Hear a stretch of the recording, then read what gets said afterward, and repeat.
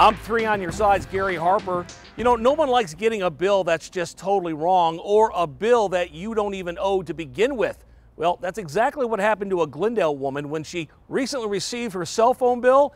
And get this, the amount she owed was $235,000.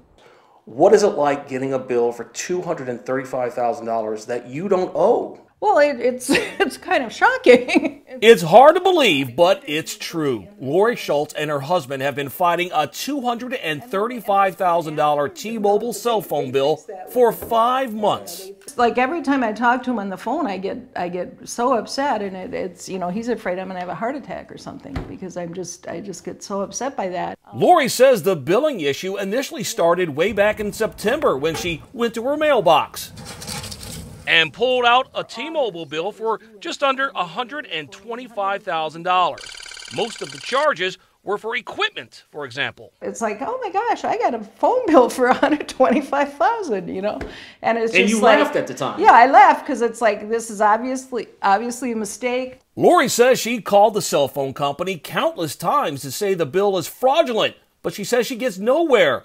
Then recently, that bill grew to an astounding $235,000. Laurie says she couldn't believe it and says she sure is glad she didn't have automatic bill pay.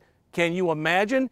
Any amount of money she had in her bank account would have been wiped out. And now Laurie says the problem has gotten worse. I think it came in September, but it was the bill for August. She recently went to the mailbox and found T Mobile had mailed her this final notice demanding payment of around $222,000.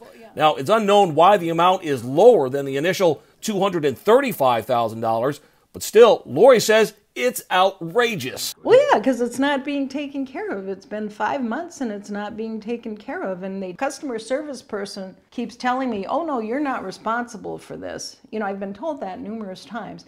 I have to say, T Mobile was extremely responsive once I contacted them, and they are currently investigating. I'll let you know exactly what happens in a follow up report. I'm Gary Harper, three on your side.